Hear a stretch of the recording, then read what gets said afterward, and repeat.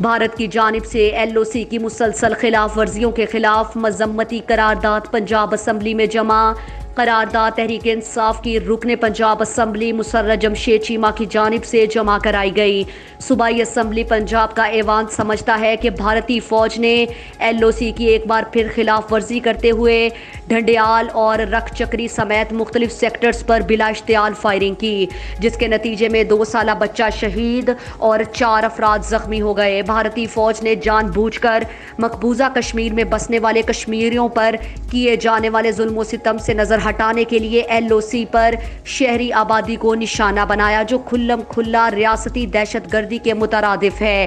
یہ ایوان یہ بھی سمجھتا ہے کہ اس وقت دنیا کرونا وائرس کے خلاف جہاد میں مصروف ہے۔ انسانیت کی بقا کے لیے ہر طرح کے وسائل استعمال کیے جا رہے ہیں۔ انسانیت کا دشمن مودی جنگی جنون کے نشے میں مبتلا ہے۔ صوبائی اسمبلی پنجاب کا یہ ایوان بھارتی فوج کی جانب سے لائن آف کنٹرول کی بار بار خلاف ورزیوں اور بھارتی ہٹ دھرمی پر بھرپور اور شدید الفاظ میں مذمت کرتا ہے۔ یہ ایوان پاک وطن پر قربان ہونے والے ہر شہید کے لیے دعا گو ہے۔ اللہ تعالیٰ شہدہ کے درجات بلند کرے۔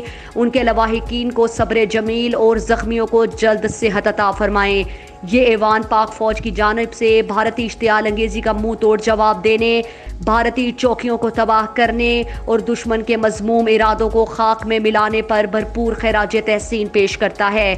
صوبائی اسمبلی پنجاب کا ایوان اقوام متحدہ اور تمام بین الاقوامی تنظیموں سے مطالبہ کرتا ہے کہ مودی اور بھارتی فوج کے جنگی جنون کے خاتمے اور انسانیت کی فلاح و بہبود کے لیے فوری عملی اقدامات کریں۔ سماجی کارکن عدیل شہزاد اور چودھری عبد الماجد نے بھی ان کے اقدامات کو سراہا۔